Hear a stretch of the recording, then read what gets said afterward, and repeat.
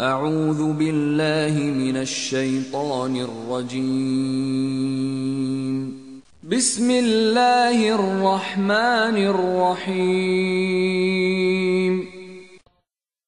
Hayır ve bereketi ne muazzamdır o zatın ki, bütün ins ve cinni uyarsın diye, o has kuluna, doğruyu eğriden ayıran Furkan'ı indirdi.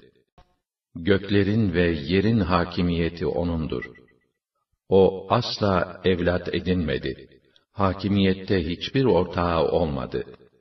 Her şeyi yaratıp nizam veren ve her şeyin varlığını bir ölçüye göre belirleyen O'dur. Böyleyken müşrikler Allah'tan başka bir takım tanrılar edindiler ki hiçbir şey yaratmaya güçleri yetmez. Üstelik kendileri başkası tarafından yaratılırlar. Başlarına gelen zararı savamaz, kendileri için fayda celbedemezler. Öldürmeye de, diriltmeye de, ölümden sonra tekrar diriltmeye de güçleri yetmez. Kafirler, Kur'an, onun uydurduğu bir yalan olup, bu hususta başkaları da kendisine yardımcı olmuşlardır, diye iddia ettiler. Onlar böylece, kesin bir yalan söyleyip, zulmettiler. Ayrıca, onun söyledikleri kendisi için yazdırmış olduğu ve sabah akşam kendisine dikte ettirilen, önceki nesillerin efsanelerinden başka bir şey değildir, dediler. De ki, onu, göklerdeki ve yerdeki bütün sırları bilen, Yüce Allah indirdi. O gerçekten gafurdur, rahimdir. Çok affedicidir, merhamet ve ihsanı boldur. Yine, ne oluyor bu peygambere? Böyle peygamber mi olur? Yemek yiyor, çarşı pazarda dolaşıyor. Bari yanında heybetli bir melek olsaydı da, etrafındaki insanları korkutup, uyarıda bulunsaydı. Yahut kendisine bir hazine verilse, yahut kendisinin içinden yiyeceği bir bahçesi olsaydı. Hasılı, o zalimler, doğrusu siz, sadece büyülenmiş bir adamın peşine düşmüşsünüz, dediler. İşte bak, senin hakkında nasıl tutarsız misaller getiriyorlar. Doğrusu onlar saptılar. Artık asla yol bulamazlar. Hayır ve bereketi ne muazzamdır o zatın ki, dilediği takdirde senin için bundan daha iyisini, içinden ırmaklar akan cennetleri verir. Senin için orada saraylar yaptırır. Ayrıca onlar, kıyameti de yalan saydılar.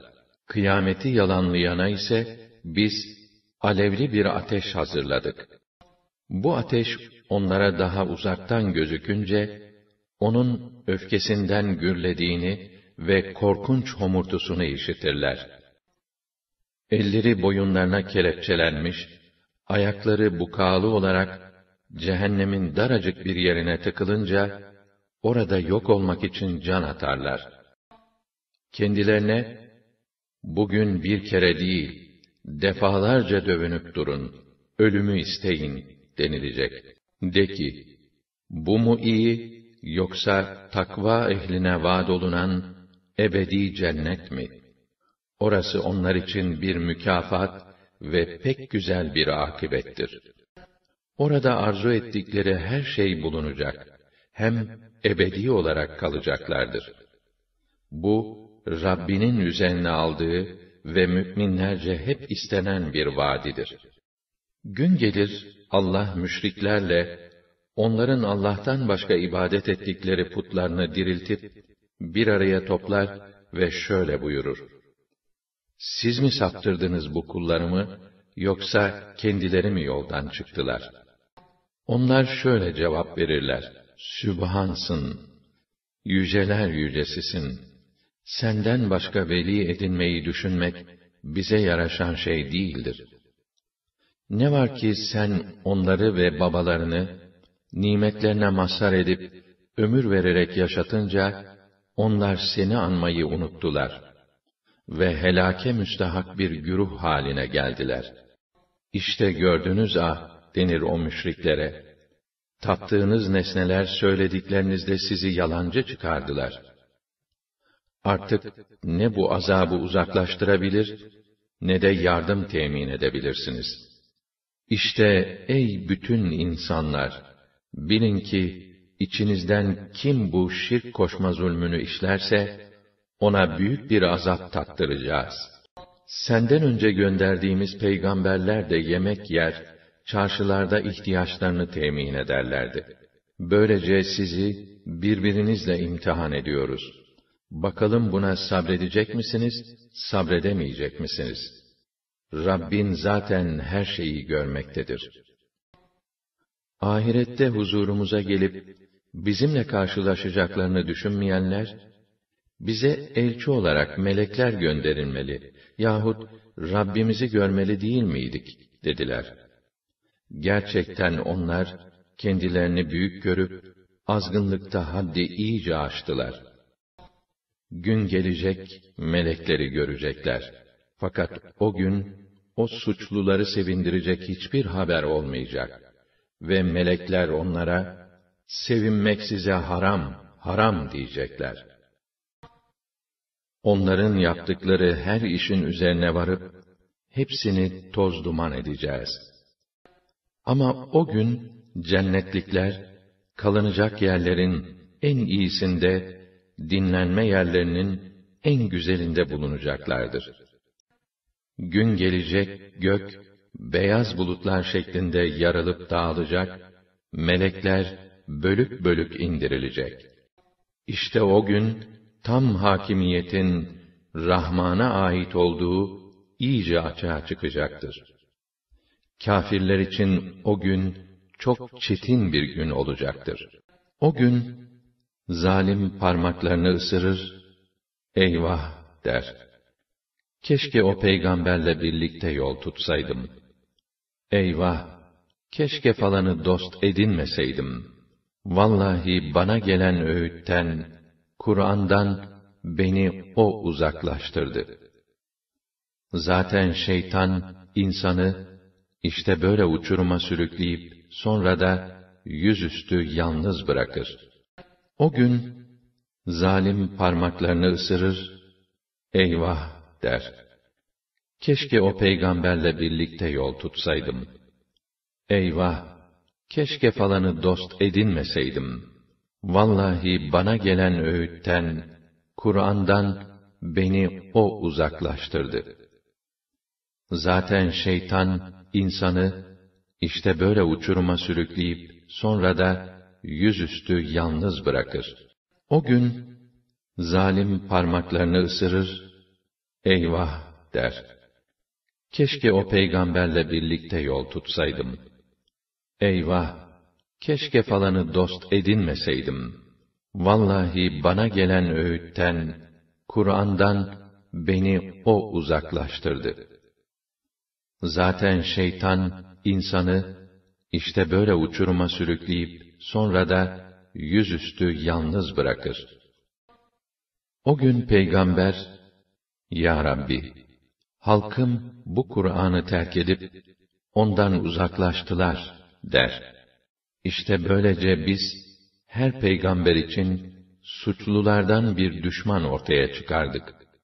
Ama tasalanma, senin Rabbin yol gösterici ve yardımcı olarak yeter mi yeter? Bir de o kâfirler dediler ki, bu Kur'an ona toptan bir defada indirilmeli değil miydi? Halbuki biz vahiy ile senin kalbini pekiştirmek için, böyle ara ara indirdik ve onu parça parça okuduk. Onların sana itiraz için getirdikleri hiçbir temsil, hiçbir soru olmaz ki, ona karşı biz sana gerçek durumu bildirmeyelim ve en güzel açıklamayı yapmayalım. O halde sen, o kâfirlere de ki, yüzleri üstünde sürünen sürüler halinde cehenneme tıkılacak olanlar yok mu? İşte onlar yerce en fena, yolcada en sapıktırlar. Gerçekten biz Musa'ya kitabı verdik ve kardeşi Harun'u da ona yardımcı yaptık. Haydi, ayetlerimizi yalan sayan o halka gidiniz, dedik. Sonunda o toplumu yerle bir ettik. Nuh'un halkına gelince, onlar, peygamberlerini yalancılıkla suçladıklarında, onları suda boğduk. Ve kendilerini, insanlar için bir ibret vesilesi yaptık. Zalimlere gayet acı bir azap hazırladık. Ad'ı, Semud'u, Res halkını, bu arada daha birçok nesilleri de inkarda ısrarları sebebiyle helak ettik. Onların her birine geçmişten misaller getirdik. Ama öğütleri tutmadıkları için hepsini kırıp geçirdik. Şu Kureyş müşrikleri bela yağmuruna tutulan, üstüne taş yağdırılan şehire de vardılar. Peki orada olup biteni fark etmediler mi? Doğrusu onlar, öldükten sonra diriltileceklerini hiç düşünmüyorlar. Seni gördüklerinde mutlaka seni alaya alır ve Allah'ın elçi olarak gönderdiği bu şahıs mıymış? Bula bula bunu mu bulmuş? derler. Eğer biz sebat etmeseydik, neredeyse bizi tanrılarımızdan vazgeçirecekti. Ama kendilerini bekleyen azabı gördükleri vakit, asıl sapanın kim olduğunu işte o zaman anlayacaklardır. Baksana şu kendi heva ve heveslerini tanrı edinen kimseye, artık sen mi vekil olacaksın ona, işlerini sen mi yürüteceksin? Yoksa sen onlardan çoğunun söz dinlediğini yahut aklını çalıştırdığını mı sanıyorsun? Doğrusu onlar yolu şaşırmada davarlar gibi, hatta daha da şaşkındırlar. Bakmaz mısın Rabbin gölgeyi nasıl uzatıyor? Dileseydi onu hareketsiz kılardı. Sonra nasıl güneşi ona delil kılıyoruz? Sonra da nasıl tutup onu azar azar kendimize doğru dilediğimiz yere alırız. Bakmaz mısın Rabbin gölgeyi nasıl uzatıyor? Dileseydi onu hareketsiz kılardı. Sonra nasıl güneşi ona delil kılıyoruz? Sonra da nasıl tutup onu azar azar kendimize doğru dilediğimiz yere alırız. Size geceyi örtü, uykuyu bir istirahat, gündüzü de dağılıp çalışma vakti kılan O'dur. Rüzgarları rahmetinin önünden müjdeci olarak gönderen de O'dur. Ölü diyarlara hayat vermek ve yarattığımız nice hayvanlara ve insanlara su vermek için gökten tertemiz suyu da biz indirmekteyiz. Rüzgarları rahmetinin önünden müjdeci olarak gönderen de O'dur. Ölü diyarlara hayat vermek ve yarattığımız nice hayvanlara ve insanlara su vermek için gökten tertemiz suyu da biz indirmekteyiz. Bu gerçeği insanların iyice düşünmeleri için biz farklı üsluplarla anlatsak da onların çoğu nankörlükten başka bir şey yapmıyorlar. Eğer isteseydik her şehre bir uyarıcı peygamber gönderirdik. O halde sen asla kâfirlere itaat etme ve Kur'an'a dayanarak onlarla büyük bir mücahede gerçekleştir. Biri tatlı, susuzluğu giderici, öbürü tuzlu ve acı, iki denizi salı veren, birbirine karışmadan akıtan, fakat aralarına bir engel, aşılmaz bir sınır koyan O'dur. İnsanı bir parça sudan yaratıp da, soy ve evlilik bağından oluşan bir sülale haline getiren de O'dur. Sonra Rabbin her şeye kadirdir. Buna rağmen bir kısım insanlar, kendilerine tapmaları halinde fayda, tapmamaları halinde zarar veremeyen bir takım şeyleri tanrılaştırıp, Allah'tan başka onlara ibadet ettiler. Zaten kafir, Rabbine karşı hep batıla arka çıkar. Biz seni sadece müjdeleyici ve uyarıcı olarak gönderdik. De ki, benim bu hizmet için sizden istediğim hiçbir ücret yoktur. Tek isteğim, Rabbine doğru bir yol tutmak isteyen insanlardır. Öyleyse sen, ölmeyen, o mutlak hayat sahibi Allah'a dayan ve onu hamd ile tesbih et. Onun kendi kullarının günahlarından haberdar olması yeter. Gökleri, yeri ve ikisinin arasında olan şeyleri altı günde yaratan, sonra da arşı üzerine hükümran olan O'dur. O Rahmandır. Sen onu, o her şeyi bilene sor. O müşriklere, Rahman'a secde edin denildiğinde, Rahman da neymiş? Bize emrediyorsun diye secde mi edeceğiz? dediler. Ve bu davet, onları imandan büsbütün uzaklaştırdı. Gökte burçlar yaratan, onların içinde bir kandil, güneş ve nurlu bir ay yerleştiren Allah, yüceler yücesidir. Hayır ve ihsanı sınırsızdır. Tefekkür ederek ders almak veya şükretmek isteyenler için, gece ile gündüzü peş peşe getiren O'dur. Rahman'ın has kulları o kimselerdir ki, onlar yerde tevazu ile yürürler. Cahiller kendilerine laf atarsa, selametle derler. Geceyi Rablerine secde ve kıyam ile, ibadetle geçirirler. Ey ulu Rabbimiz derler. Cehennem azabını bizden uzaklaştır. Zira onun azabı tahammülü zor, ömrü tüketen bir derttir. Ne kötü bir varış yeri, ne fena bir yerleşim yeridir orası. Ey ulu Rabbimiz derler. Cehennem azabını bizden uzaklaştır. Zira onun azabı tahammülü zor, ömrü tüketen bir derttir. Ne kötü bir varış yeri, ne fena bir yerleşim yeridir orası.'' Rahman'ın o has kulları, harcamalarından ne israf eder, ne de eli sıkı davranırlar. Bu ikisi arasında bir denge tuttururlar. Onlar, Allah'la beraber başka bir tanrıya yalvarmazlar. Allah'ın muhterem kıldığı bir canı haksız yere öldürmezler, zina etmezler. Kim de bunları yaparsa, günahının cezasını bulur. Kıyamette, o büyük duruşma gününde, onun cezası katmerli olur ve azapta, zillet içinde ebedi kalır. Ancak şu var ki, dönüş yapıp iman edenler, güzel ve makbul işler işleyenler, bundan müstesnadır. Allah, onların kötülüklerini iyiliklere, günahlarını sevaplara çevirir. Çünkü Allah, gafurdur, rahimdir. Çok affedicidir, merhamet ve ihsanı boldur. Kim tövbe edip, güzel ve makbul işler yaparsa, gereğince tövbe eden işte odur. O kullar, yalan şahitlik etmezler.